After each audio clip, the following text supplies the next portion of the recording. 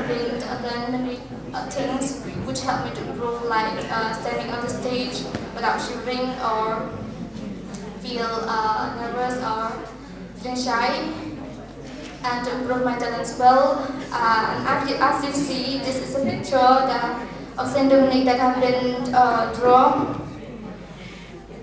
I feel very happy uh, because I've got this I've had,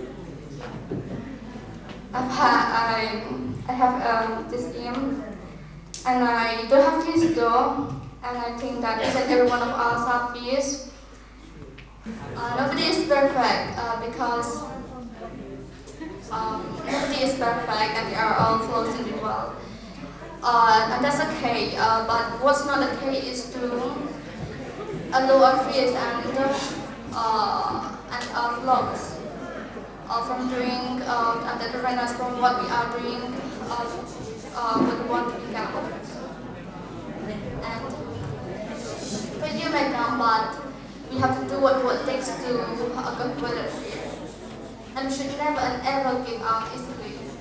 Uh, and we should never also um, decide our fears to um, to let our fears decide our fate. That's all I want to share my views with you guys. Thank you.